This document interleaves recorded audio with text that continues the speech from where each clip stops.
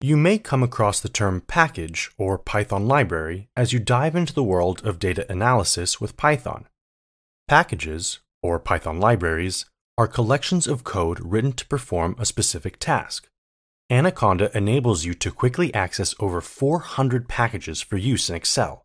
And if you want to take your work outside of Excel, there are an estimated 137,000 for you to choose from. Think of this large repository of Python libraries as, well, a library.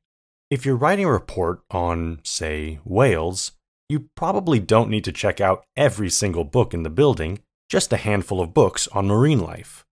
Similarly, when working in Excel, you won't need all 400 packages at your disposal. Once you find the select set of packages you need for your project, you can check them out with the import command. For example, if you're using Pandas, a library made to analyze, clean, and explore tabular data, the standard import is import pandas as PD.